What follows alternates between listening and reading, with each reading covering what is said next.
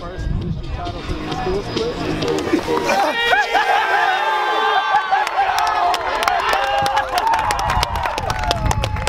Yeah, that's cold. yeah, that's cold. That's cold. That's cold. Woo! Challenge.